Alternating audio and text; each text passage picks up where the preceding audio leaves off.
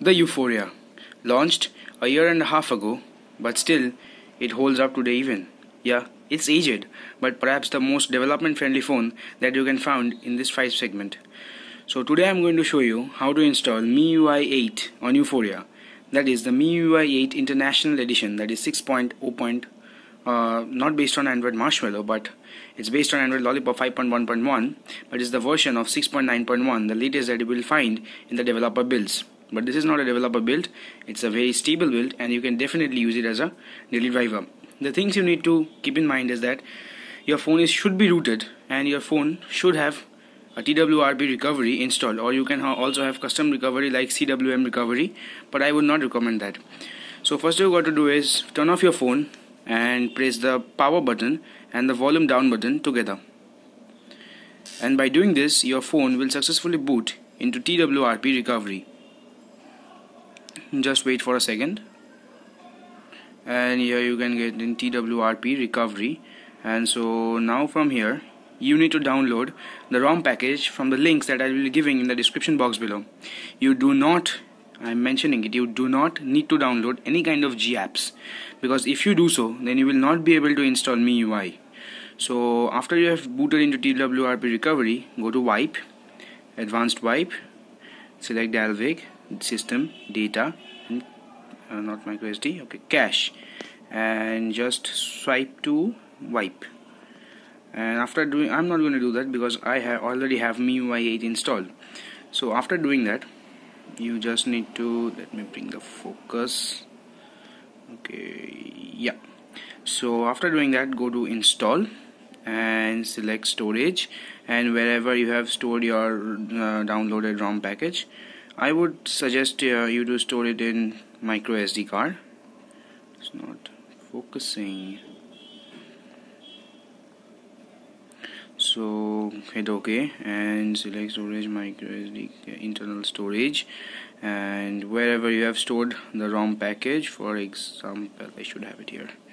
Okay no it's not here. Micro SD card and yeah, yeah it should be here. No not here as well. Okay it should be in the root folder. I would suggest you to download the root folder and here you can see MIUI 8 version 6.9.1 international edition. And you just need to go swipe to confirm flash. After you have done this just go back back go and hit reboot and go and hit system if you have a prepaid SIM, I would definitely suggest to remove the prepaid SIM before you set up MIUI 8 on Yuphoria for the first time. This is because it will try to consume your data without you even knowing it.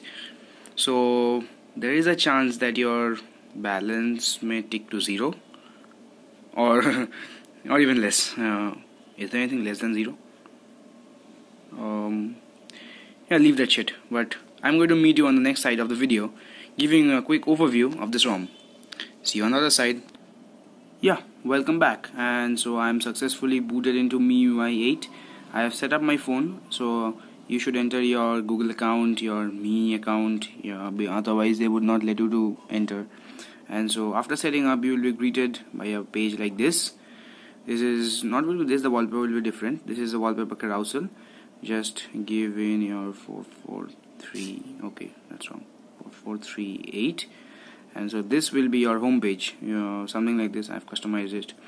So yeah this ROM is pretty decent I would say because considering the other MIUI ROMs which are available in the market this one is perfectly suited for so you can see the lag. It's it's it, it's been happening for some time. But um, this one is the best MIUI ROM that is available out there in the developer pages. So I've been using this ROM for the past few weeks and I'm going to share my experience with you. So let's just see the Android version. Just go down about phone. So yeah 5.1.1 it's running on Android Lollipop.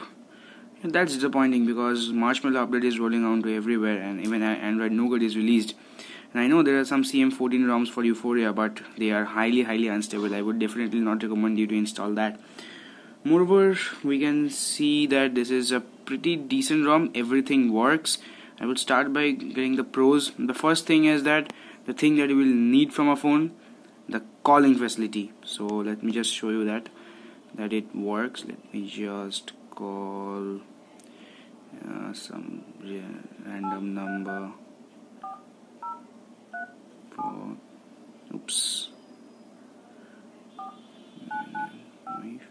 okay let me just call and show you so as you can see the animations are pretty decent so আপনি যে নম্বরে call করেছেন সেটি এখন বন্ধ আছে দয়া করে কিছুক্ষণ পরে আবার চেষ্টা করুন so as you can see that calls are working pretty much working I would say that this can definitely be used as a daily driver and the major thing about this ROM and other ROM is that this is the international edition so do not even expect anything Chinese from here everything is in English even the theme store let me show you the theme store yeah it's exactly in English the one that you will find on Redmi Note 3 after the MIUI 8 update.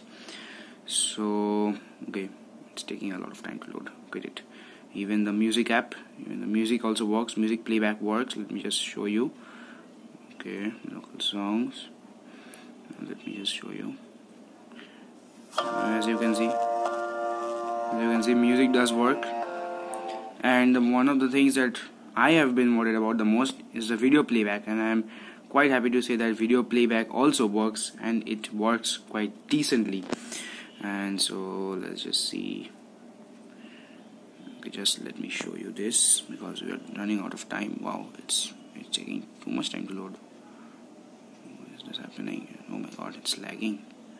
It's lagging like hell.